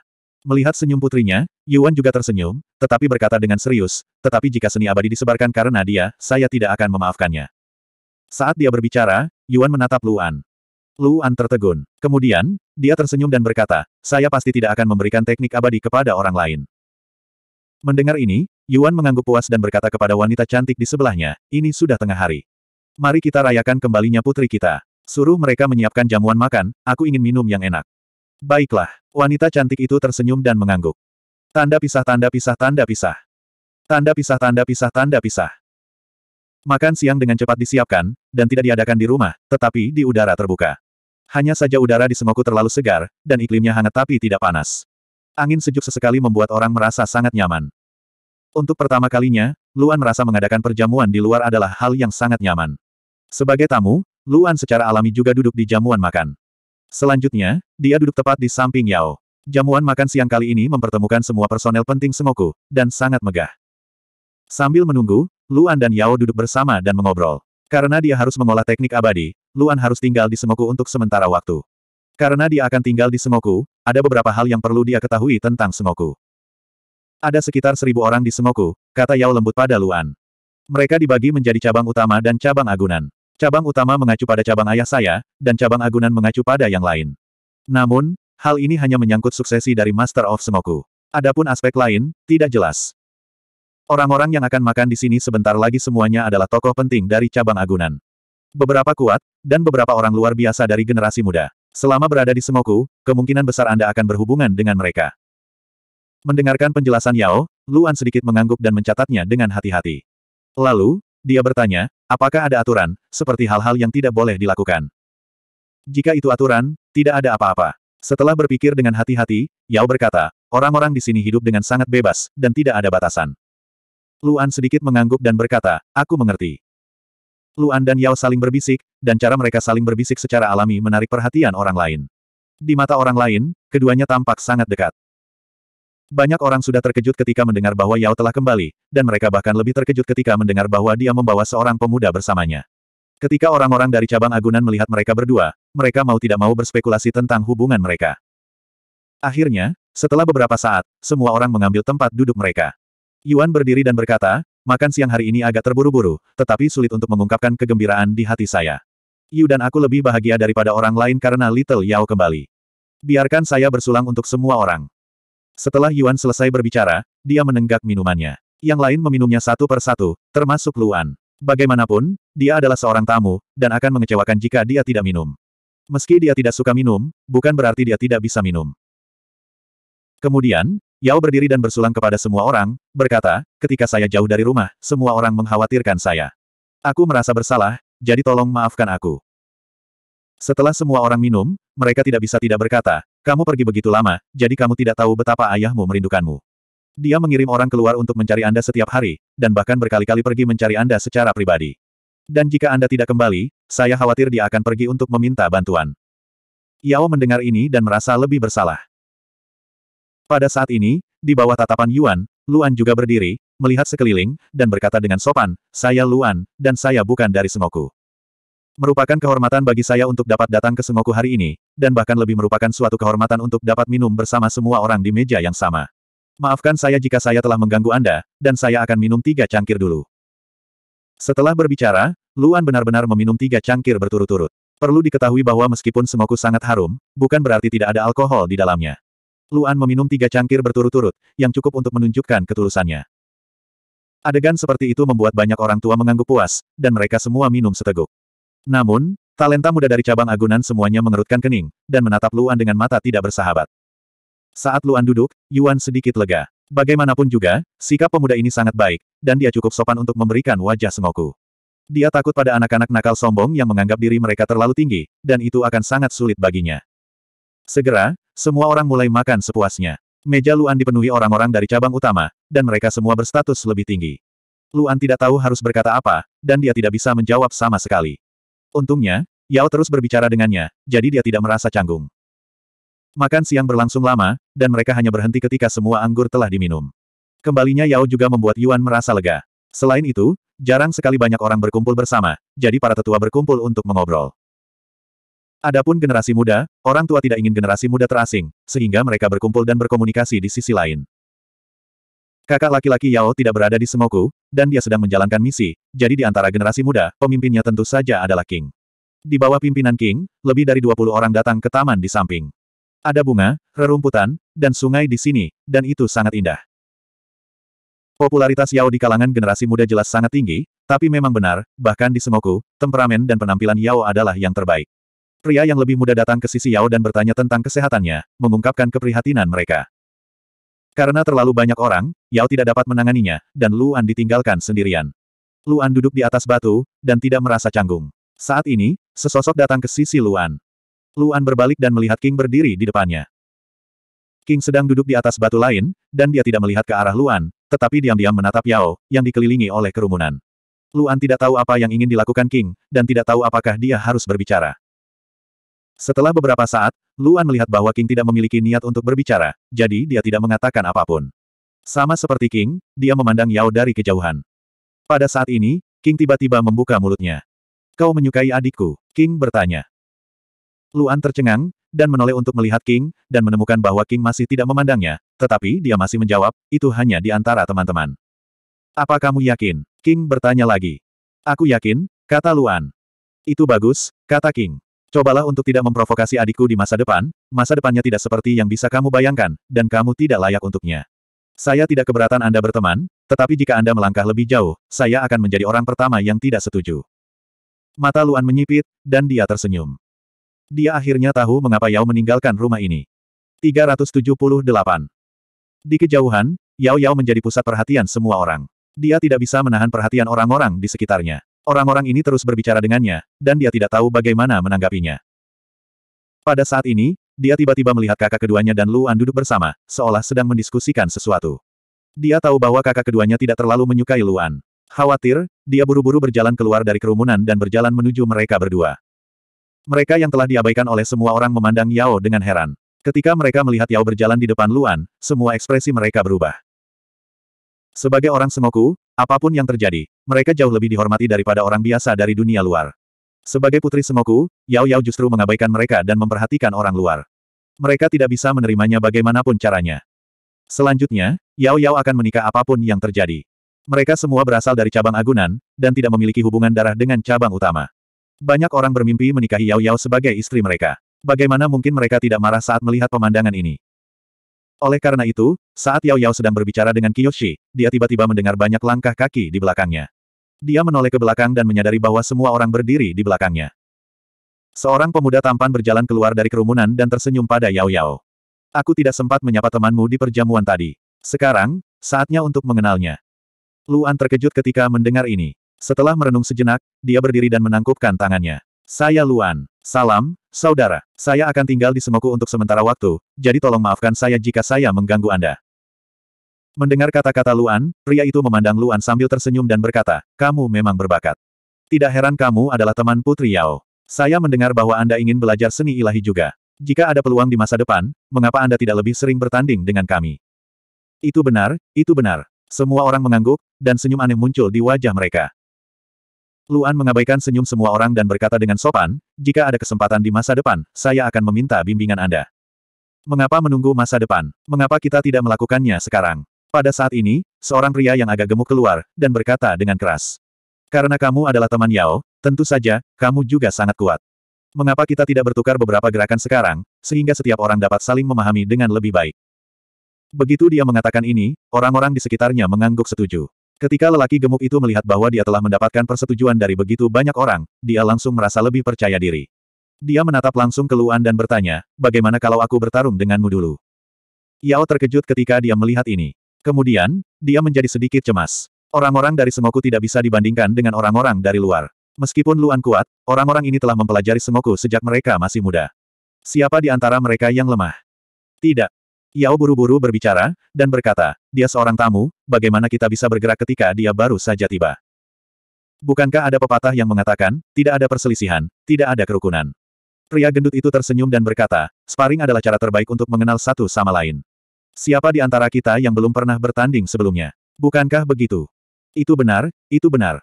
Semua orang mengangguk. Memang benar mereka sering bertengkar satu sama lain. Tapi, Yao sejenak tidak tahu harus berkata apa. Dia hanya bisa menoleh untuk melihat King dan berkata, kakak kedua, bantu aku. King, yang duduk di atas batu tanpa bergerak, menatap adiknya, lalu menatap Luan. Akhirnya, dia menatap adiknya dan berkata, aku tidak bisa ikut campur dalam urusan mereka. Selain itu, ini hanya perdebatan. Tidak akan terjadi apa-apa. Mengapa menghentikan mereka? Yao sedikit kecewa saat mendengar kakaknya mengatakan hal yang sama. Dia buru-buru menatap Luan, dan Luan kebetulan menoleh untuk melihatnya juga. Tidak apa-apa. Luan tersenyum tipis dan berkata, jika kita tidak bertanding hari ini, akan ada lebih banyak masalah di masa depan. Saat dia mengatakan itu, Luan menoleh untuk melihat pria gendut di depannya dan berkata, aku akan bertanding denganmu. Ketika lelaki gemuk itu melihat bahwa Luan telah setuju, dia mencibir dan berkata, kamu punya nyali. Tempat ini cukup besar. Ayo bertanding di sini. Saat dia mengatakan itu, pria gendut itu berjalan melewati kerumunan ke tengah taman. Luan ingin berjalan juga, tapi ditarik kembali oleh Yao. Dia sangat kuat, Yao dengan cemas berkata, jangan ceroboh. Jangan mencoba untuk berani. Baiklah, Luan tersenyum dan berkata. Saat dia selesai berbicara, Luan berjalan melewati kerumunan ke tengah. Pada saat ini, masa juga bubar. Mereka bersandar pada lapisan luar dan melihat ke tengah, menunggu pertempuran dimulai. Menurutmu siapa yang akan menang? Seseorang memandangi dua orang di tengah dan bertanya. Tentu saja pria gendut itu yang akan menang. Seseorang segera berkata, meskipun kekuatan pria gendut itu bukan yang terbaik di sini, dibandingkan dengan orang-orang di luar, itu sudah lebih dari cukup. Kekuatan anak ini jelas tidak setinggi itu. Bagaimana dia bisa menjadi lawan pria gendut itu? Itu benar. Pria tampan itu mengangguk setuju dan berkata, sekarang terserah pria gendut apakah dia ingin menang dengan cara yang sederhana atau perlahan menyiksanya. Di tengah taman, keduanya berdiri diam. Pria gendut itu menatap Luan, seolah ingin mencabik-cabiknya. Di sisi lain, mata Luan memang melihat ke bawah. Dia mengerutkan kening dan sepertinya khawatir. Memang, suasana hatinya sedang tidak baik. Atau lebih tepatnya, suasana hatinya sedang tidak baik sejak dia bertemu Yuan. Itu bukan karena Sengoku, tapi karena dia tidak bisa merasakan roda takdirnya. Api suci surga ke-9 dan Deep Eyes telah benar-benar kehilangan koneksi. Dia tidak berbeda dengan guru tahu biasa, atau lebih buruk lagi, karena dia tidak pernah menggunakan atribut lain. Jadi, Apalagi yang bisa dia lawan? Dia mengangkat kepalanya dan menatap pria gendut itu dengan cemberut. Dilihat dari serangan King, kekuatan pria gendut itu jelas tidak rendah. Dia hanyalah seorang master Tao tingkat satu tahap akhir biasa. Dia hanya bisa menggigit peluru dan bertarung dengan pria gendut itu. Seperti yang dia katakan, jika dia tidak bertarung dengan pria gendut itu hari ini, akan ada lebih banyak masalah di masa depan. Dia sangat ingin tahu apa yang salah dengan Fate Will-nya. Oleh karena itu, dia ingin mengakhiri pertarungan dengan cepat agar dia bisa pergi ke sudut dan mempelajarinya. Oleh karena itu, dia berinisiatif dan berkata, tolong. Silakan. Pria gemuk itu mendengus. Kemudian, dia meletakkan tangannya di depan dadanya dan bersiap untuk menyerang. Bagaimanapun, Luan tidak ingin terluka parah. Oleh karena itu, dia harus berhati-hati meskipun dia tidak memiliki roda takdirnya. Suara mendesing. Tiba-tiba, ada embusan angin. Dalam sekejap, pria gendut itu menghilang di tempat. Luan tertegun. Luan tidak menyangka pria gendut itu akan benar-benar menghilang di depannya. Dia segera mengangkat Scorching Sun Nine Suns di tubuhnya. Bahkan tanpa api suci surga ke-9, matahari terik sembilan matahari masih bisa digunakan. Namun, bahkan setelah Scorching Sun Nine Suns diaktifkan, dia hanya bisa merasakan sedikit fluktuasi di ruang sekitarnya. Itu saja, fluktuasinya terlalu kecil dan terlalu cepat untuk dia tangkap. Aku di sini. Tiba-tiba, sebuah suara datang dari belakang Luan. Tubuh Luan menegang dan matanya terfokus. Dia berlari ke depan dengan cepat. Pada saat yang sama, dia berbalik dan melihat ke belakang. Sayangnya, gerakan Luan terlalu lambat. Pria gendut itu memukul punggung Luan. Luan dikirim terbang oleh pukulan. Bang! Luan menabrak bebatuan di kejauhan. Setengah dari tubuhnya dimakamkan di bebatuan. Dia berjuang untuk memanjat keluar dari bebatuan. Dengan erangan teredam, dia memuntahkan seteguk darah. Engah! Setelah memuntahkan darah, Luan merasa lebih baik. Meski begitu, dia masih sangat kesakitan. Dia merasa tulang belikatnya patah.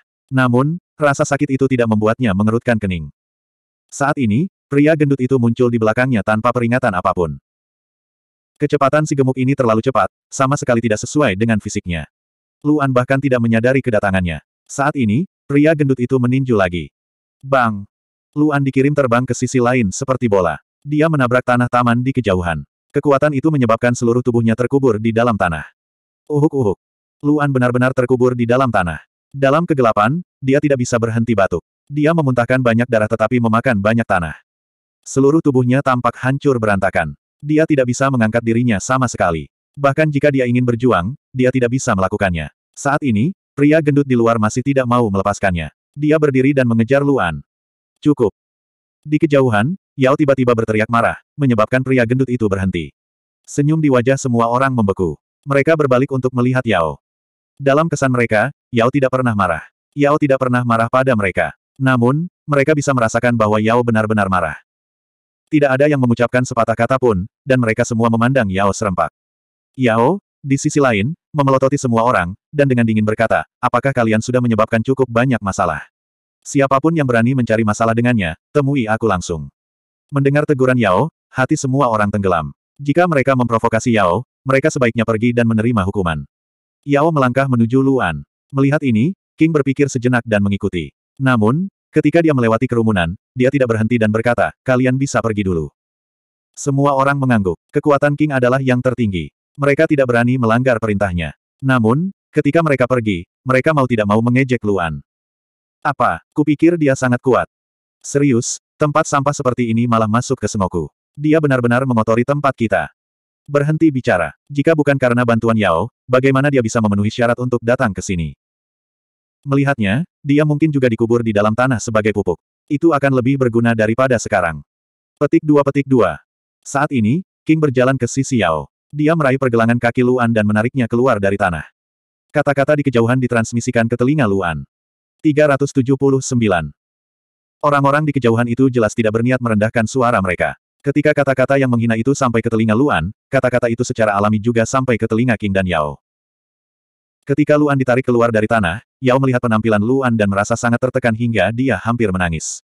Bahu dan dada Luan memiliki tanda-tanda depresi yang jelas. Dia akan menggunakan teknik berkat untuk menyembuhkan luka Luan, tapi King mengangkat tangannya dan menghentikannya. Teknik blessing digunakan untuk meningkatkan kekuatan. Terlalu boros menggunakannya untuk menyembuhkan luka, kata King dengan tenang. Biarkan aku yang melakukannya. Setelah mengatakan itu, King mengulurkan tangannya dan mengarahkan telapak tangannya ke arah Luan. Dalam sekejap, cahaya putih muncul dan menembus tubuh Luan. Cahaya putih dengan cepat menyelimuti tubuh Luan, dan semua lukanya dengan cepat sembuh dengan kecepatan yang terlihat dengan mata telanjang. Dalam waktu kurang dari tiga tarikan napas, semua tulangnya yang patah dan ototnya yang robek kembali seperti baru, seolah-olah dia tidak pernah terluka. Karena kenyamanan tiba-tiba di tubuhnya, pikiran Luan jauh lebih jernih. Masih berbaring di tanah, dia perlahan duduk dan menghela nafas panjang. Bagaimana perasaanmu? Yao buru-buru berjongkok dan bertanya pada Luan dengan cemas.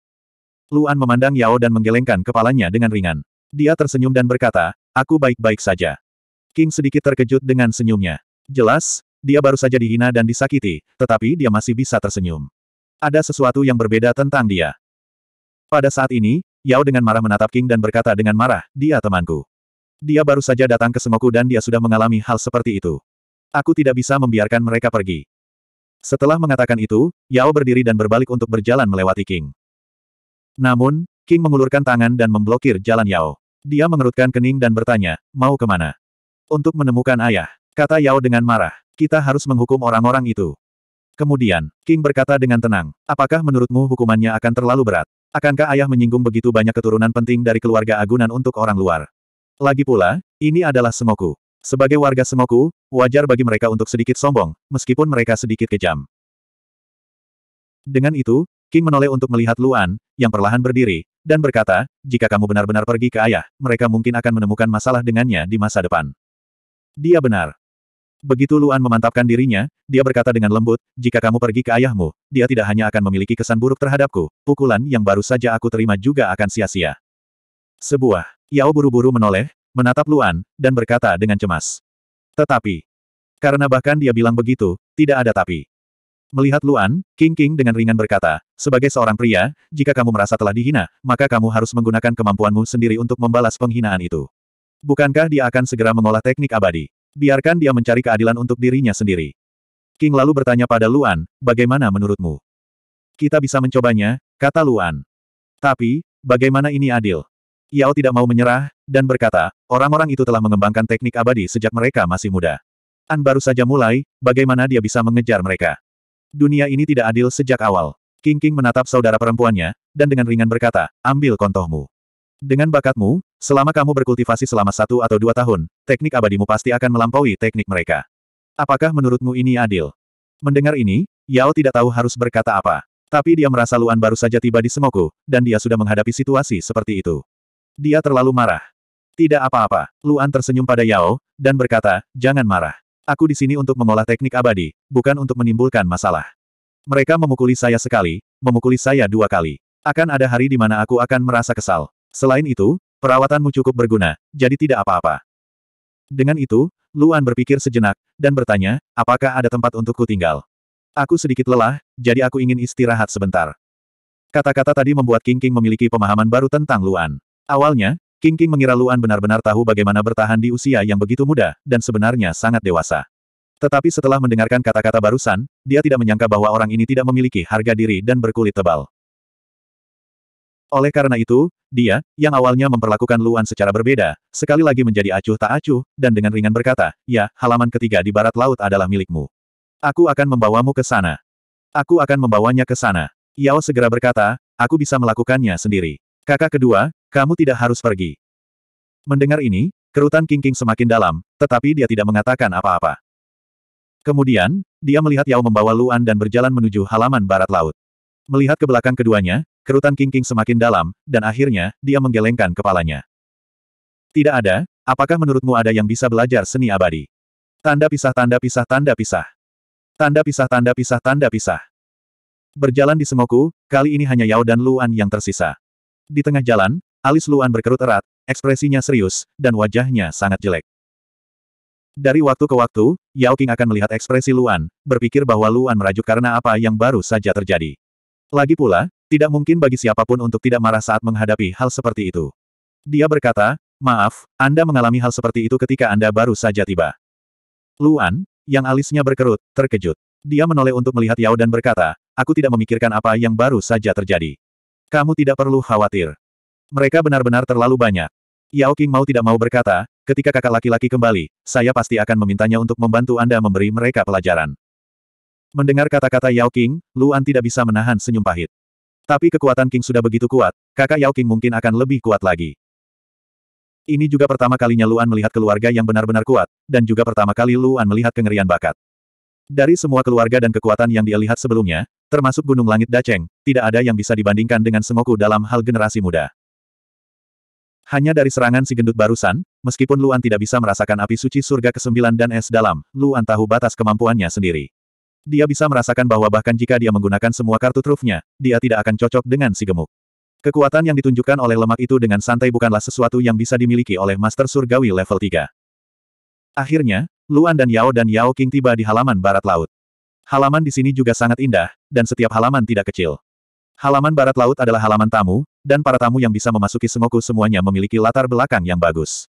Secara alami, mereka tidak bisa diabaikan.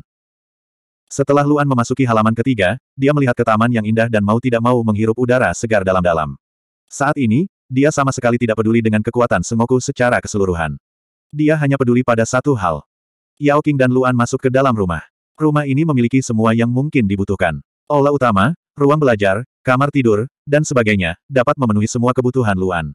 Bahkan ada banyak dari empat harta penelitian yang bisa digunakan sesuka hati. Kamu akan tinggal di sini mulai sekarang, Yao King berbalik dan berkata kepada Luan, sebentar lagi, aku akan mengirimimu pakaian Sengoku. Bagaimanapun, Anda akan tinggal di Sengoku. Akan terlalu mencolok jika Anda selalu memakai pakaian luar. Luan mengangguk dan berkata, oke. Okay. Aku akan tinggal di sini bersamamu sebentar. Yao King berpikir sejenak dan berkata, mengenai teknik abadi, ayah berkata bahwa dia akan mengajarimu secara resmi besok. Tidak dibutuhkan. Luan tersenyum dan berkata, kamu baru saja kembali. Pergi dan temani orang tuamu. Aku akan baik-baik saja sendiri untuk sementara waktu. Selain itu, saya sedikit lelah sekarang. Saya ingin tidur. Ketika Yao Qing mendengar ini, dia menatap Luan dengan cemas. Namun, senyum Luan sangat santai, yang membuatnya sedikit goyah. Aku baik-baik saja. Luan tersenyum dan berkata, jika kamu tinggal bersamaku sepanjang sore, orang tuamu pasti akan bermasalah denganku. Pergi dan temani mereka. Ketika Yao Qing mendengar ini, dia akhirnya mengangguk dan berkata, pasti akan ada perjamuan di malam hari. Kalau begitu aku akan meneleponmu. Oke, kata Luan.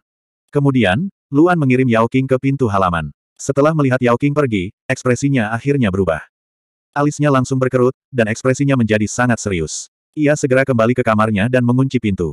Dia pergi ke kamar tidurnya dan duduk di tempat tidur. Dia menutup matanya dan dengan panik merasakan tubuhnya. Satu-satunya hal yang dia pikirkan sekarang adalah ke mana perginya api suci sembilan surga dan es dalamnya. Kenapa dia tidak bisa merasakan apa-apa sama sekali? Jika kedua jenis roda takdir ini hilang, maka dia akan benar-benar kehilangan semua kartu trufnya. Dia juga akan kehilangan semua kemungkinan untuk menantang mereka yang levelnya lebih tinggi. Oleh karena itu, pikiran Luan dipenuhi dengan pertanyaan mengapa roda takdirnya menghilang. Apa yang sebenarnya terjadi? Luan tidak pernah begitu cemas. Dia bahkan kehilangan akal sehatnya. Tepat ketika Luan terbakar kecemasan dan kepalanya akan meledak, sebuah suara tiba-tiba terdengar di kedalaman pikirannya. Akulah yang menyegel mereka. 380. Suara yang dikenalnya terdengar di benaknya, menyebabkan tubuh Luan bergetar dan matanya membelalak. Kemudian, Luan dengan cepat menutup matanya dan segera memasuki kondisi tidur siang. Ketika dia tiba di ruang kegelapan yang akrab ini sekali lagi, tentu saja, sosok yang akrab itu sedang menunggunya. Menguasai. Begitu dia mendarat, Luan segera berlari ke pria berkabut hitam itu. Mereka tidak bertemu satu sama lain selama empat bulan. Pria berkabut hitam itu memandang Luan dan tersenyum. Dia bisa merasakan kemajuan Luan, dan dia juga bisa merasakan bahwa Luan telah berhasil mengolah urat of the ocean, yang membuatnya sangat senang. Setelah tidur begitu lama, kamu tidak mengecewakanku. Pria berkabut hitam itu tersenyum dan berkata, sepertinya kamu telah mengalami banyak hal dalam empat bulan terakhir. Apalagi kamu bisa datang ke Semoku, aku benar-benar tidak menyangka.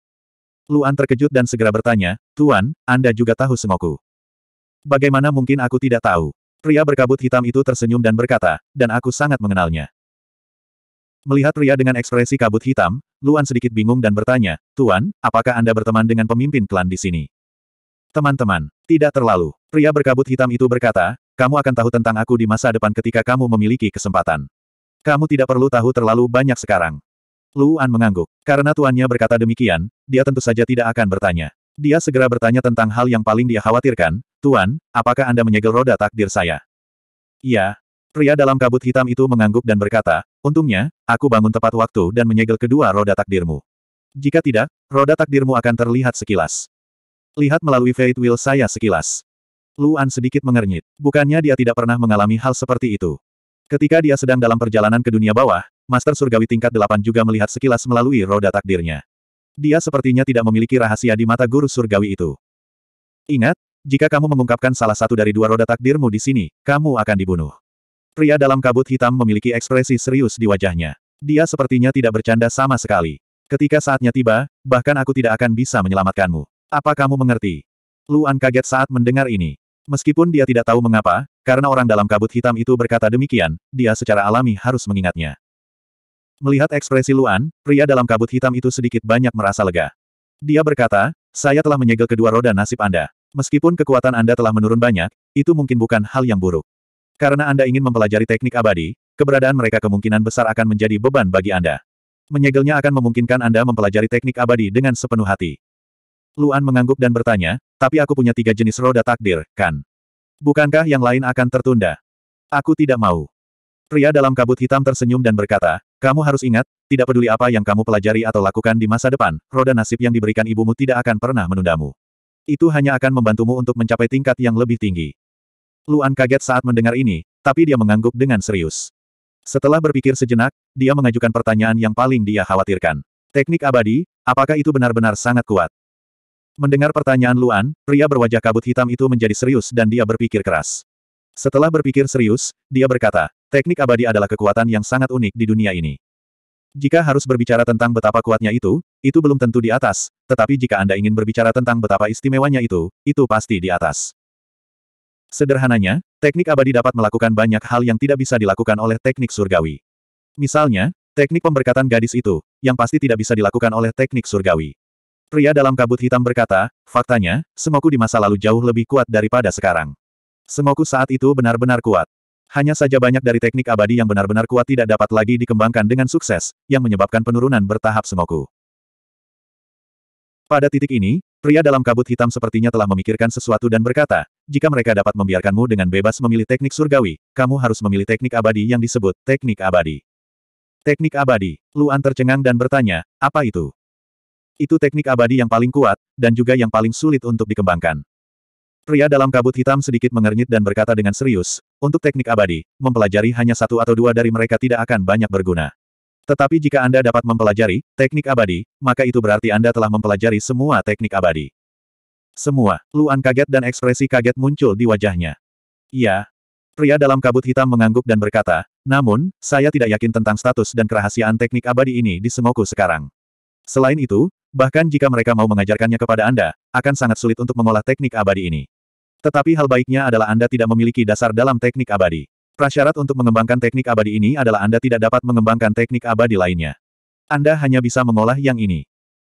Tapi terlalu sulit untuk membudidayakannya, jadi tidak banyak orang yang berani membuang waktu untuk membudidayakannya. Mendengar pria dalam kata-kata kabut hitam itu, Luan sedikit mengangguk. Ngomong-ngomong, apakah kamu mengolah teknik penguasa ilahi yang kamu peroleh di dunia bawah? Pria berkabut hitam itu bertanya. Teknik penguasa ilahi. Luan tertegun dan menggelengkan kepalanya. Belum. Sebenarnya, orang itu sangat berbakat. Pria dalam kabut hitam menghela nafas dan berkata, saya mencari ingatan Anda untuk poin-poin penting dan pedoman teknik penguasa ilahi. Teknik ini tidak kalah dengan teknik abadi di Sengoku. Jika orang itu terus hidup, kemungkinan besar itu dia akan menciptakan Sengoku yang lain. Namun, teknik sovereign ilahi itu hanya dalam bentuk embrio sekarang. Terlalu sulit bagimu untuk mempelajarinya sekarang. Kamu masih perlu mempelajarinya sendiri. Ini tidak sepraktis Sengoku, yang telah didirikan selama puluhan ribu tahun. Anda dapat mempelajarinya ketika kekuatan Anda melebihi guru surgawi tingkat enam, kata pria berkabut hitam itu. Setelah mendengar kata-kata tuannya, Luan mengangguk lagi. Namun, dia hanya berada di tahap akhir level satu sekarang. Master surgawi tingkat enam terlalu jauh untuk dipikirkannya. Master surgawi tingkat enam sudah menjadi eksistensi yang bisa mendirikan sekte di negara kecil. Apakah itu pavilion tengah malam atau gunung langit Daceng, mungkin hanya ketua sekte yang merupakan guru surgawi tingkat enam. Ngomong-ngomong, Tuan, bagaimana kabarmu sekarang? Luan tiba-tiba memikirkan sesuatu dan bertanya dengan kesal, kamu pasti telah menghabiskan banyak energi untuk menyelamatkanku sebelumnya. Apakah kamu sudah sedikit pulih sekarang? Pria berkabut hitam itu menggelengkan kepalanya sedikit dan berkata sambil tersenyum, tidak mungkin pulih. Saya hanya melakukannya untuk mengurangi harganya. Jika saya tidak tertidur lelap, dengan jumlah energi yang saya habiskan, saya mungkin telah menghilang. Keadaanku saat ini sangat lemah. Saya khawatir saya tidak bisa bertahan lebih dari setahun. Tahun. Hati Luan bergetar saat dia mengepalkan tinjunya dengan erat. Hatinya dipenuhi dengan menyalahkan diri sendiri. Jika bukan karena fakta bahwa dia lemah dan impulsif, pria dalam kabut hitam tidak akan terlalu mengkhawatirkannya. Melihat penampilan Luan, pria dalam kabut hitam itu tersenyum dan berkata, tidak apa-apa. Aku hanya kesadaran. Hanya masalah waktu sebelum aku menghilang. Aku hanya melakukan yang terbaik untuk mengasuhmu. Ketika saatnya tiba, jangan lupakan perjanjian antara kau dan aku. Luan tercengang saat mendengar ini. Dia segera mengangguk dan berkata, saya pasti akan melakukan yang terbaik untuk menyelamatkan orang itu. Jangan bicara terlalu dini. Pria dalam kabut hitam tersenyum dan berkata, aku sudah mengatakannya sebelumnya. Ketika kamu tahu siapa yang akan kamu selamatkan, kamu pasti akan meragukan dirimu sendiri. Tapi apa pun yang terjadi, jangan memaksakan diri. Gunakan hatimu untuk menilai. Apakah Anda menyelamatkan seseorang atau tidak, itu terserah Anda. Bahkan jika Anda tidak menyimpannya, saya tidak akan menyalahkan Anda. Luan tercengang saat melihat pria berkabut hitam itu dengan takjub. Memang, ini bukan pertama kalinya pria berkabut hitam itu mengatakan hal seperti ini. Namun, dia tidak mengerti mengapa pria dalam kabut hitam tidak memaksanya untuk menyelamatkan seseorang ketika dia telah menghabiskan begitu banyak upaya untuk merawatnya. Baiklah, aku baru saja bangun. Aku perlu istirahat sebentar. Pria dalam kabut hitam melambaikan tangannya dan berkata, masa depan terlalu jauh. Ingat apa yang saya katakan. Anda tidak dapat memberitahu orang-orang Sengoku bahwa Anda memiliki Empyrean Secret Fire atau Deep Ice. Jika tidak, Anda pasti akan dibunuh. Tidak mungkin Anda bisa melarikan diri. Mendengarkan pria dalam peringatan kabut hitam, Luan sekali lagi mengingatnya. Kemudian, pria berkabut hitam itu menghilang di depan mata Luan. Luan juga menarik diri dari keadaan tidur. Saat Luan membuka matanya, dia menghela nafas panjang. Pertama, itu karena dia tahu bahwa Fate Will miliknya hanya tersegel dan tidak hilang. Kedua, itu karena tuannya telah bangun. Kekhawatirannya yang lama akhirnya hilang. Sekarang, tanpa dukungan dari dua roda takdir yang kuat, Luan tidak berbeda dengan guru surgawi biasa. Sekarang, dia harus bergantung sepenuhnya pada usahanya sendiri untuk menjadi lebih kuat. Seni keabadian. Dia harus berhasil mengolahnya.